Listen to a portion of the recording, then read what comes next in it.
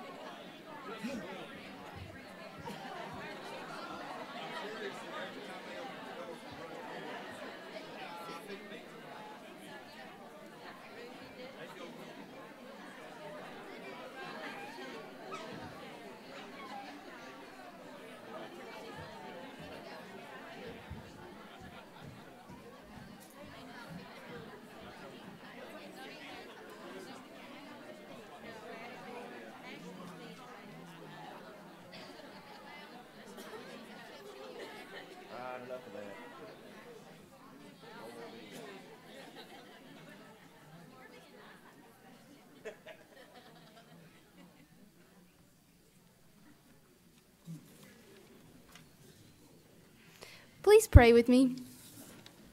Gracious God, this morning as we gather in this room, quieten and prepare our hearts for worship, we call on you today to gather us in your love. And while your love is diverse, accepting, and equal, it is also united. Let our compassion reflect the, uni- the unity of love in a diverse world. When we continue to hear about more violence and hatred every day, do not let us have fear, but let us be peacemakers of your perfect love. We know you are a God of justice and peace, but guide us to a place of openness and understanding so we may be better able to serve one another in love. Be with us now as we begin worship, and be with us as we leave with your love. In Christ's precious name we pray. Amen.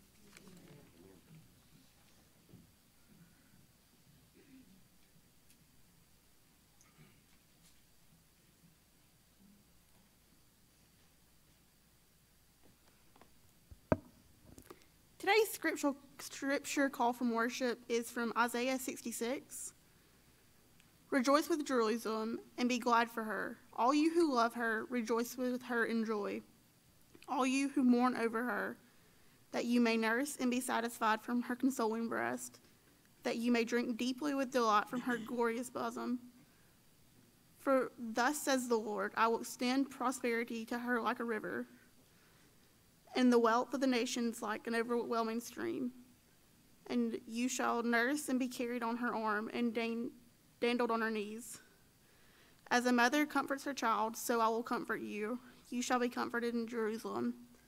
You shall see, and your heart shall rejoice. Your body shall flourish like the grass, and it shall be known in the hand of the Lord is with his servants, and his indignation is against his enemies.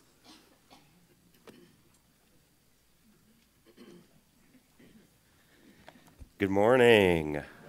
This is the day that the Lord has made. Let us, oh my. I mean, the guest got it, and all of you missed it. we need a little crowd participation on that one. This is the day that the Lord has made. Let us, yeah, rejoice and be glad in it. I like that. Page 97. All hail the power of Jesus' name. You can remain seated as we sing this great, great hymn of the faith.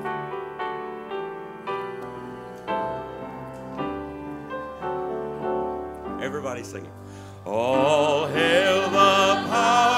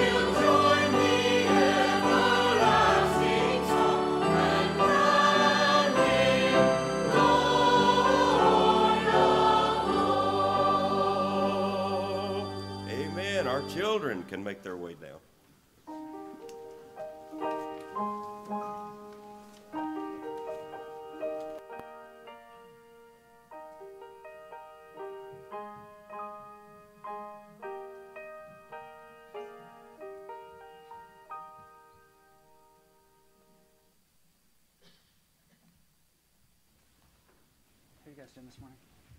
Good. Good. You having fun so far? Yes. Those are a small group this time. I have a question for you guys. Do you know what the word nemesis means? Uh-uh. That is immediate. No. Never heard that word before? So in superhero stories, you guys have all heard superhero stories, right? Uh-huh. Yes. There's almost always the superhero and then there's a nemesis.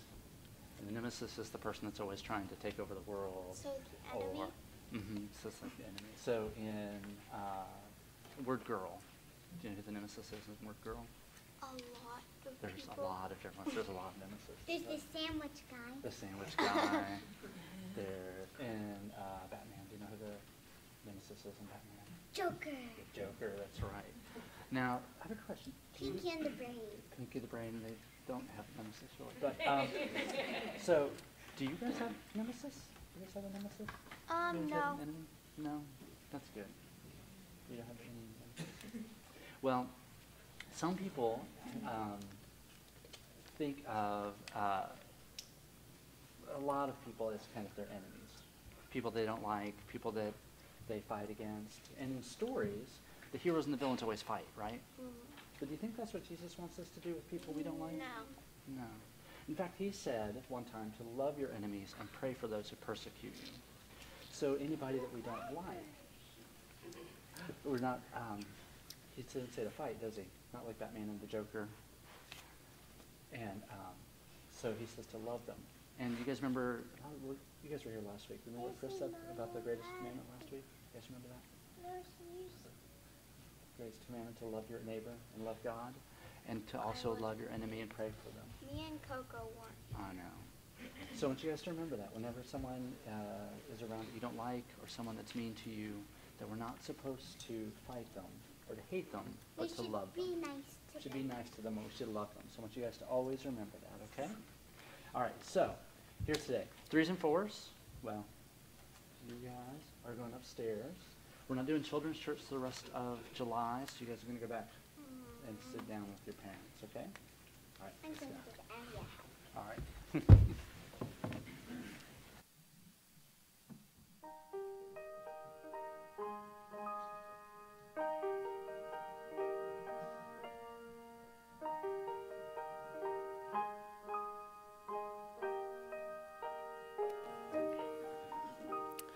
All right, not only do we come here this morning to celebrate the freedom that we do truly find in Christ, but on this special occasion, we recognize those who have um, given of themselves so that we as a country can have freedom as well. So we want to do something. If you have served or you are currently serving in our nation's military, would you please stand so that we can recognize you this morning?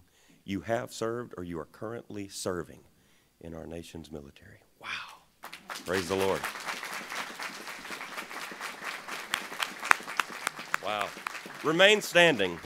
Remain standing. Let's all stand in honor of them and sing this great hymn. 572 talks about this wonderful country, America the Beautiful. Let's sing it out.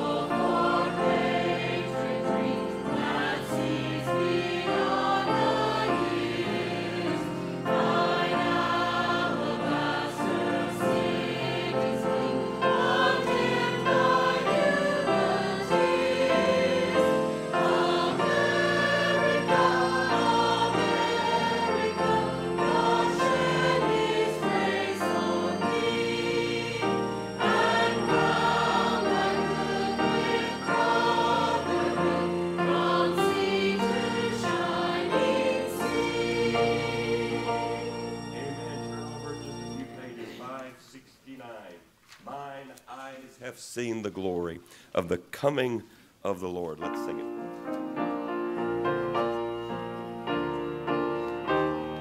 This is our offertory hymn. We'll do the first and the last verse. Here we go.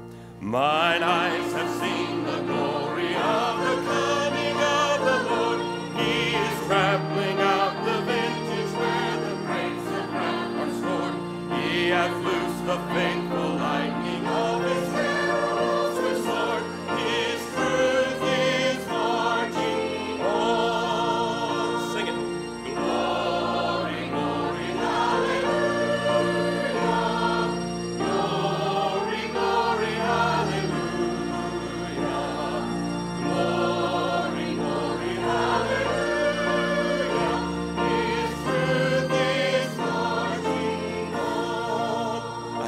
say this every time I sing this song, I look at Mama and she gets tickled because I used to think it said where the great big rats are stored. Up until like three weeks ago. So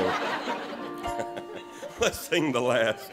In the beauty of the lilies, Christ was born across the sea with a glory in his bosom that transfigures you and me.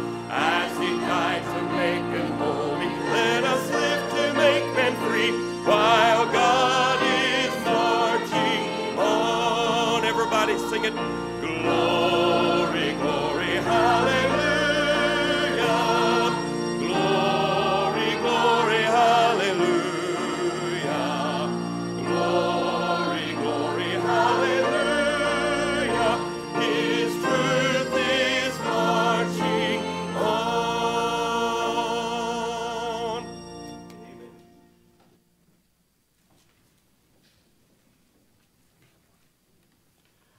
May we pray? Father, we thank you so much for this day that you have given us to come to your house, this holy place, and worship you. Father, we thank you for all of the many blessings that you give us every day. And we thank you for all those who are here to worship you. Thank you most of all for our Lord and Savior, Jesus Christ. Now we time we come to give back those a portion of those blessings that you have given us. And as we give these tithes and offerings, may they be ample enough to continue to uphold this work, place to worship in, and also ample to the work that you would have us to do. It's in Jesus' name we pray. Amen.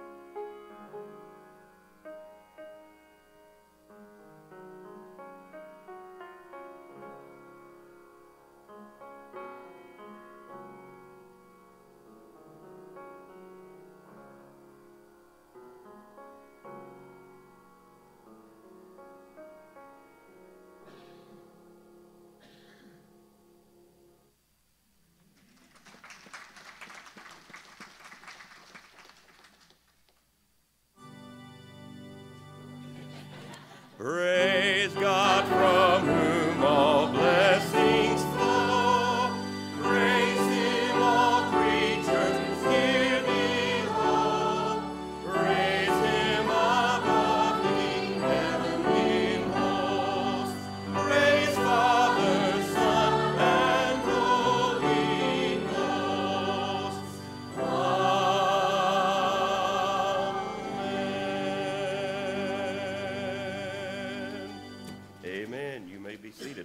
was wondering why is my wife not coming up here? She's being so disobedient, but I miss that doxology every time.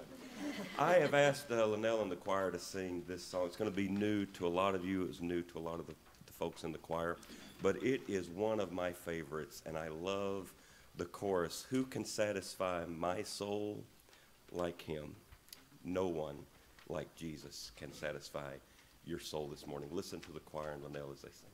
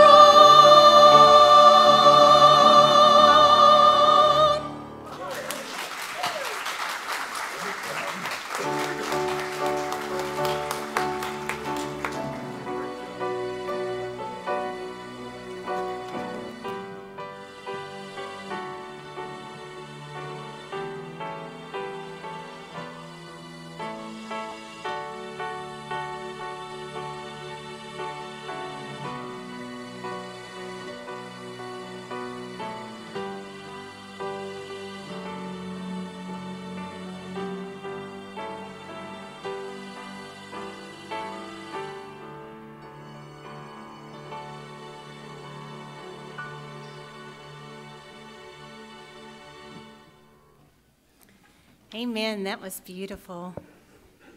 Thank you.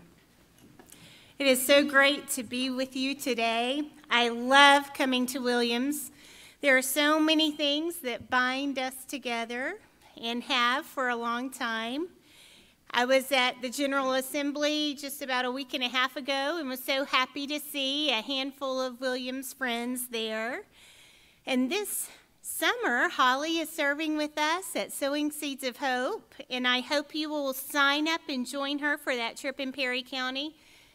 To guilt you into that just a little bit, my husband turns 50 on Saturday, July the 30th. I said, We should plan a big surprise party. And he said, Are you kidding? I'm going to go build a ramp in Perry County on my birthday for the Summer Church Challenge.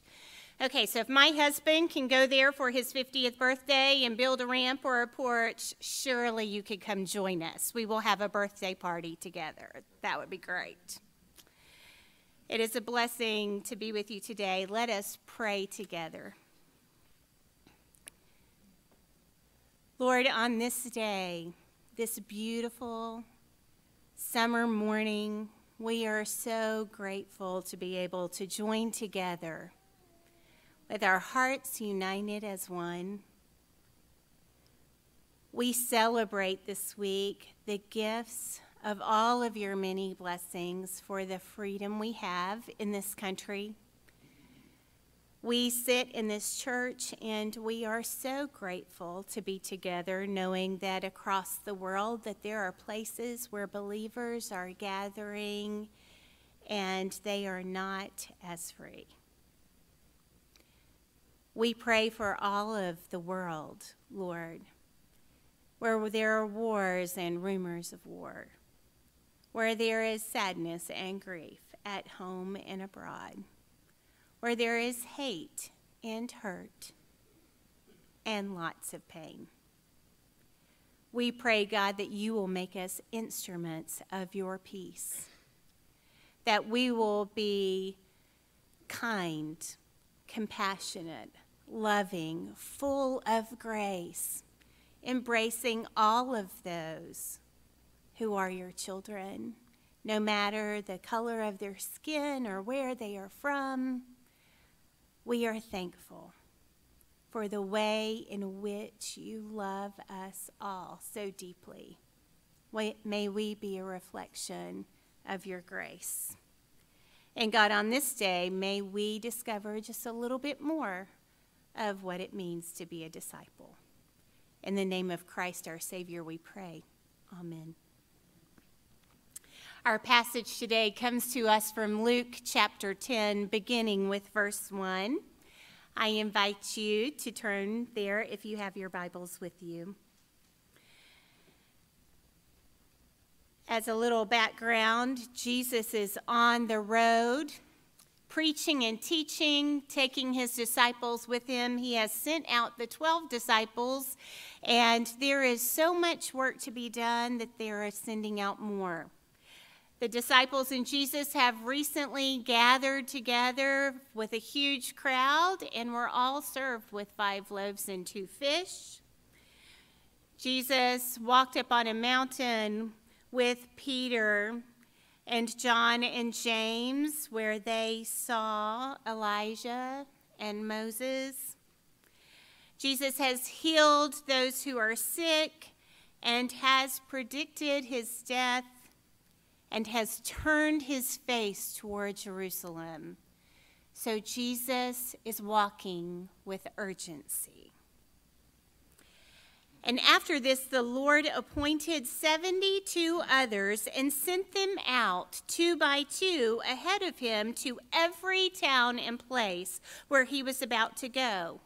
And he told them, The harvest is plentiful, but the workers are few. Ask the Lord of the harvest, therefore, to send out workers into his harvest field. Go! I am sending you out like lambs among the wolves. Do not take a purse or a bag or sandals, and do not greet anyone on the road. When you enter a house, first say, Peace be to this house. And if the head of the house loves peace, your peace will rest on that house. If not, it will return to you. Stay there, eating and drinking whatever they give you, for workers deserve their wages. Do not move around from house to house. When you enter a town and are welcomed, eat what is set before you, heal the sick that are there, and tell them the kingdom of God has come near to you. But when you enter a town and you are not welcomed, go into its streets and say, Even the dust of your town we wipe from our feet as a warning to you. Yet be sure of this the kingdom of God is near. I am a frequent traveler thanks to my job, and I used to pack too many things. Big suitcases full of a variety of outfits in multitudes of colors, and so, so many shoes because I love shoes. The article, however, a few years ago, I was on an airplane and pulled out the travel magazine and opened it up and was reading it. And inside, there was an article on how to pack for a week of business in a small carry on piece of luggage. And so the article showed a rolling carry on suitcase and how described how to pack with a color scheme in mind, with clothing articles that can mix and match, so a few articles can make several outfits. It's said to have a toiletry bag that stayed packed all the time. And so in my case, I only have to check what has run out and needs to be replaced. The article described how to survive a week with only two pair of shoes a classic pump and a comfortable flat that coordinated with the color scheme. And the best, best advice of all was how to carry a colorful scarf and fun accessories to switch up your outfits from business to casual. It was brilliant. It changed my whole travel experience. I can now be gone for days with one small suitcase containing multitudes of options, all in one color palette. Wow, it really changed my life. But in our passage of scripture today, Jesus' travel advice to all of the many new disciples that they were sending out, his travel advice is extreme. Jesus wants those 70 to 72 people to take far less than just a carry on. In fact, he asked them to take nothing at all no money, no backpack with a change of clothes, no anything, just what they happen to be wearing. Can you imagine? Of course, it was another day and time. In fact, this could be one of those New Testament stories that we find really fascinating, but not pertinent to our situation. After all, which one of us, in following Jesus, is going to head down the road by foot, traveling to the next town without taking anything at all? But if we pause and ponder more deeply, maybe there are some lessons that we can learn about how to follow Jesus and how to pack lightly. First of all, packing lightly means giving and receiving hospitality. In the most literal sense of the reading of this passage of Scripture, it is talking about the people that the Lord has sent out into a community to share the gospel of Jesus Christ, those he has called to be ministers to a community. For me, that means taking care of the ministers that God has blessed us with and called to this place. The Bible passage reminds us that the Lord's laborers deserve to be paid. The message even says the laborers need three good meals a day, which means that we need to make sure that our ministers are able to eat and live providing for their families. But granting hospitality to our ministers goes beyond physical need.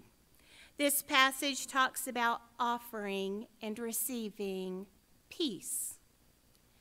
As a person raised all of my life as the daughter of a pastor, one of the greatest gifts our family ever received was to be warmly embraced with love and encouragement by our church family, with lots of room and grace to be human and lifted up in prayer and goodwill every day. I remember with sadness the church whose deacons found fault with everything my dad did, who didn't include him in major decisions, who were discouraging of every new idea, and honestly made our whole family feel like we were walking on pins and needles. Although there were loving people in the church, that handful of deacons caused my dad to eventually leave the church before he even found another position just to release my family, and especially my mom, from the stress of living in that place.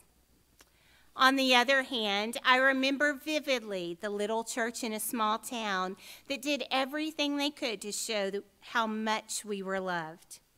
We would come home from church to find a basket of fresh corn, beans, and tomatoes on our front porch from a member's summer garden or the time when a few of the men who served in the volunteer fire department rushed to our home in the early morning hours to rush my dad to the hospital when he had a bleeding ulcer, the whole time saying, Hold on, preacher, we've got you. When something didn't go well at the church, they encouraged us and walked with us, beside us, to try something different.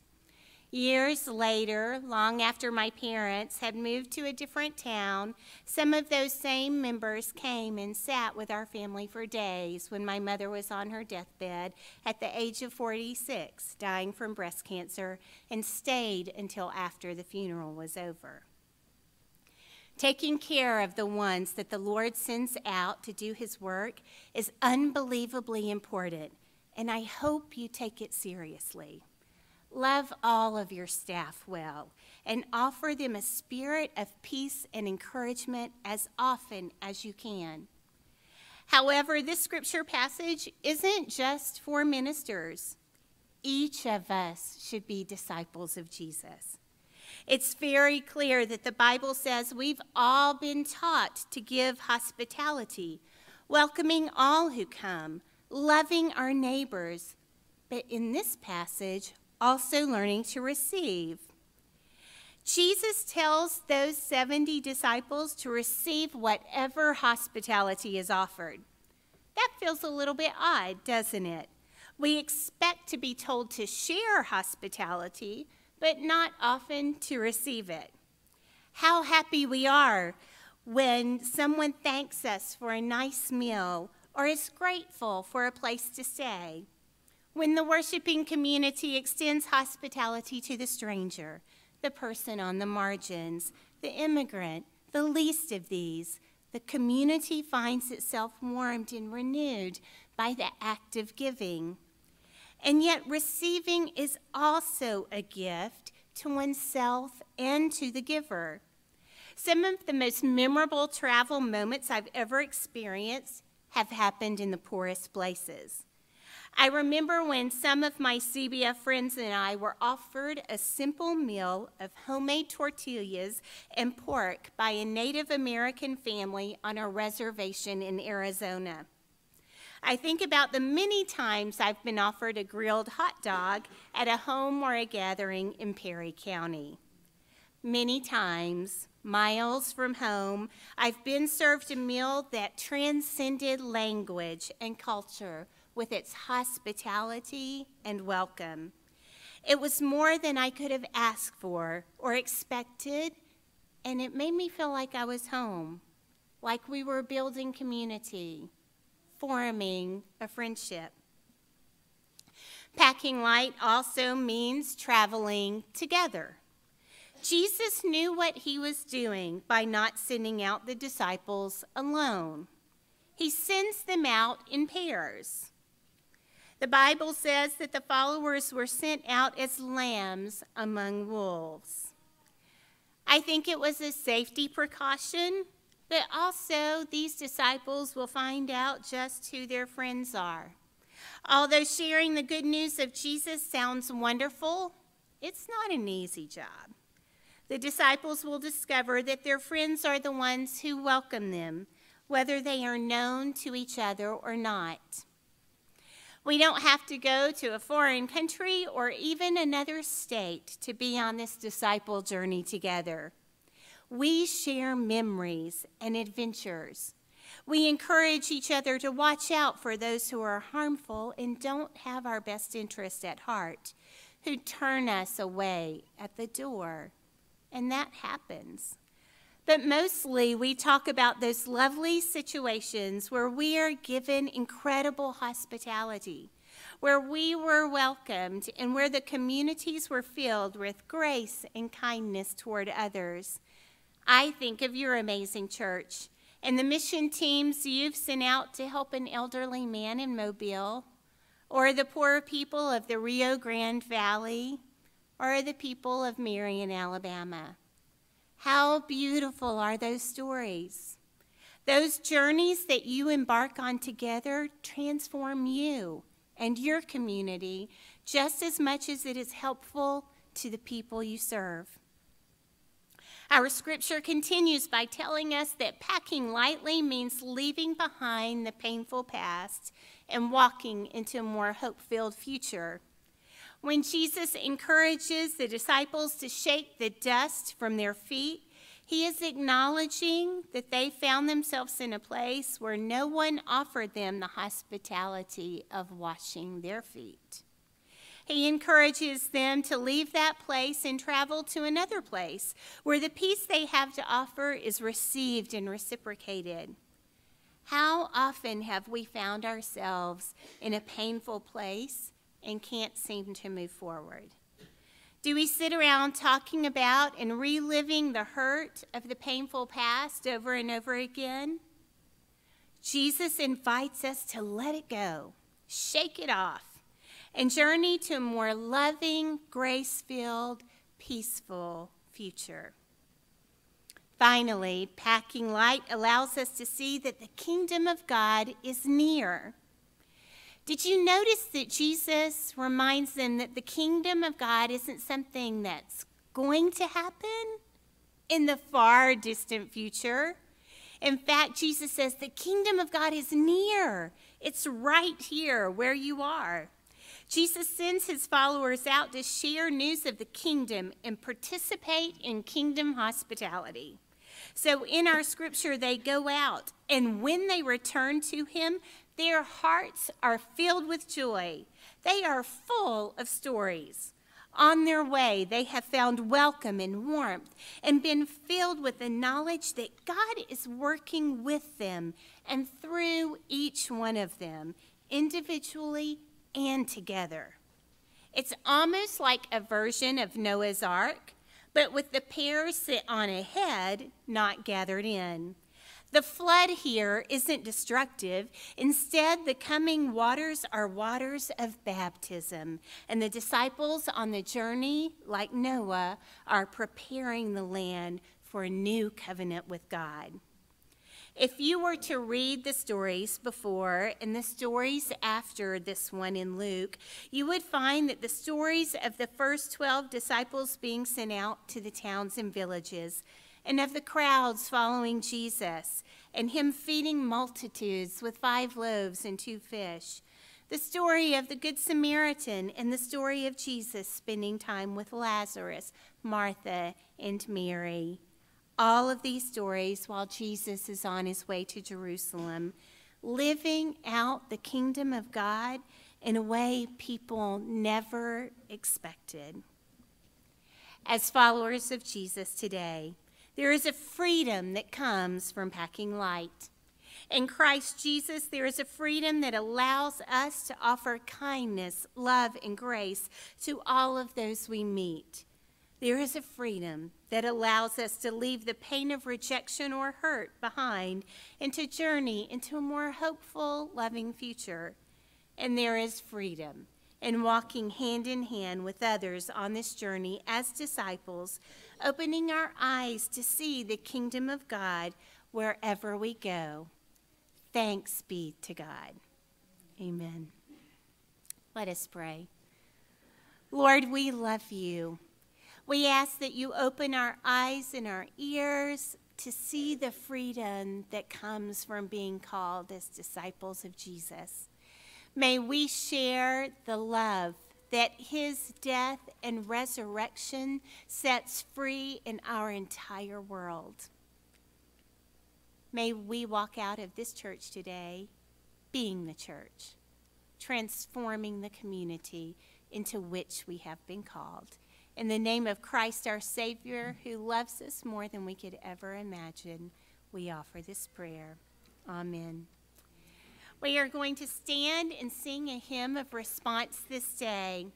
I ask you to ponder in your heart as we sing together where God is leading you. Let's stand as we sing.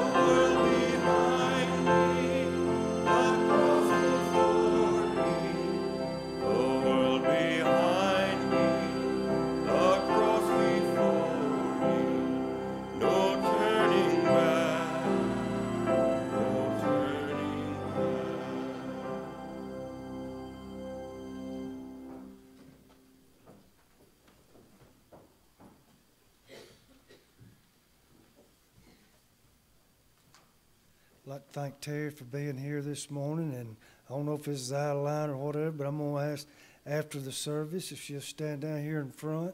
If you wanna say hello or come by and just thank her for being here, and it's good to have a good old friend in here talking to us and giving us a, a lesson we learn. Let's go to our Lord in prayer. Father God, Jesus Christ, the Son, and the Holy Spirit. Lord, thank you for this day. Thank you for this space and time in this house this morning. Lord, thank you for your spirit that you brought into this world. Lord, that you unselfishly allowed each and every one of us to share part of you and us share part of us with you. Lord, it is what makes us go out and do the things that you ask. For without it, for without that love, we would sit, we would sit and do nothing. Lord, go with us from this place and bring us back here safe. And for the ones that's traveled here, give them safe passage home.